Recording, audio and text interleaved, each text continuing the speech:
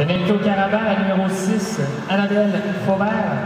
Deux minutes pour avoir retardé le match à 28 secondes en deuxième période de prolongation.